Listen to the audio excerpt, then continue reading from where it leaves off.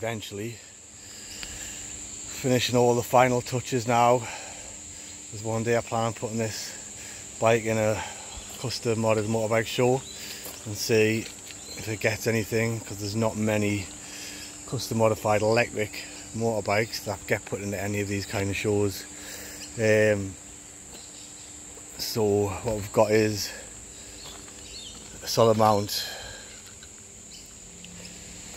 bar clamp onto some Marzocchi eights that I sanded up back to bare aluminium and put in some accents and the the bomber um, writing back in there um, running Shinkos golden boys on tyres front and back and large 223 rotors on there just to help with the braking with Shimano vented pads on the front on the rear I'm running a A bikes thin disc with the Shimano vented pads also.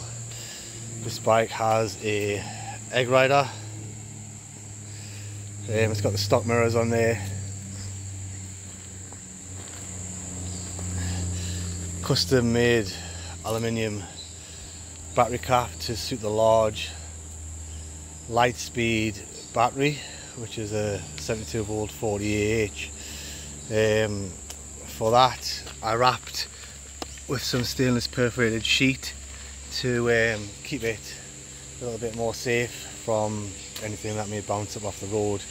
Um, we're running the light speed BAC 8000 in there which I made up a custom scoop that still lets the air pass in the sides through the moffs but protects the sides of the BAC um, and then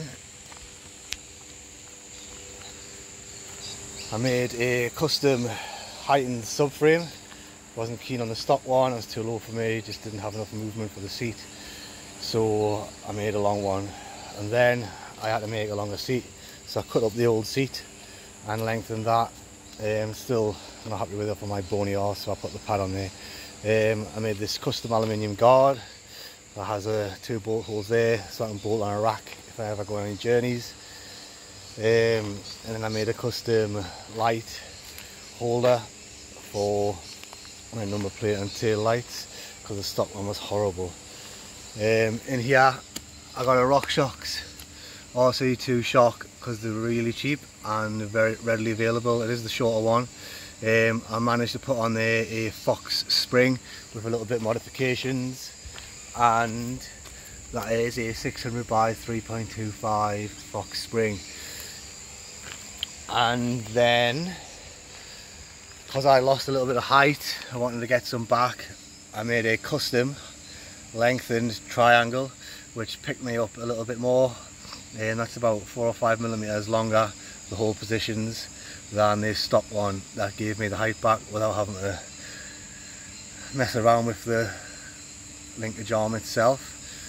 Um, then I run a after many attempts to find the best chain I went with a chain primary and I went with a um, 420 U-ring RK chain there it's the only one that hasn't stretched and I will be doing that on the back as well. At the moment that's just an RK chain on the back 420 but I will definitely put a U-ring on. Um, I kind of like them feel nice and beefy.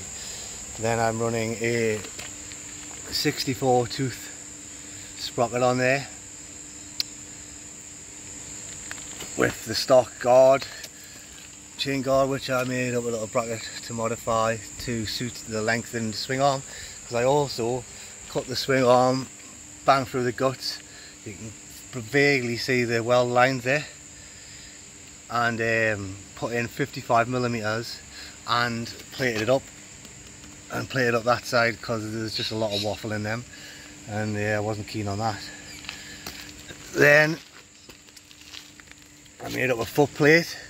This is probably one of my favourite mods out of all of them. Um, the comfort it gives on the bike itself, being able to move your feet around is great. Obviously it wouldn't be ideal if you are doing MX racing because you could probably get your foot stuck under it when you're leaning into the corners and sticking your foot out to get the um, the grip on the front wheel. But for what I do it's perfect. It's good for sliding over logs and it's amazing for cruising around the streets and moving your feet around and moving around on the bike to stay comfortable. Then I made a custom 316 marine grade stainless steel bash guard. In there is a Spal thermal fan and um, I will be testing that over the next week or two to see if it actually makes any difference. On the bike itself I will do a static test where I ride and get it up to heat and then put the fan on see if it cools it faster than no fan. And I will also be doing a riding test um, so many speed runs to see what the temperature gets with the fan on and so many speed runs to see where the temperature gets with the fan off um, that's probably it. I'm currently set it at 22 kilowatts. Um, it's pretty hectic. I only flipped it today racing a Harley, so I'll have to watch that. Um, and that's even sitting at the front of the seat right on the tank. So yeah, I'll definitely have to watch what I'm doing on it because it's definitely still flip happy even with the extended swing arm. But that's it now. It's practically nearly near completion. I'm gonna um, get a riser stem probably from AMXQ technique just to lift my bars up a little bit more and I'm probably going to get some nice brake levers um, from I don't know yet but we'll have a look maybe it's prickly um, just for the feel when I'm braking but other than that it's all nice now I've put on all my little my little piping around the edge of everything take off all the sharp edges um, just for, for looks to make them smooth everything but also just um, so if you did ever have an accident you don't want to be um, hitting straight on to a edge of aluminium because it's 3 mil thick most of that other than the guard which is 2 mil of the BAC but yeah that's it. I'm really really happy with how it's turned out and definitely definitely looking forward to in the future finishing all the little bits, giving it a nice little sand up and possibly putting it into a custom bike building show and see what happens and where it goes from there. I think it should do well because, well, yeah, there's not many bikes around and to be fair, not many of them are modified to the extent like this.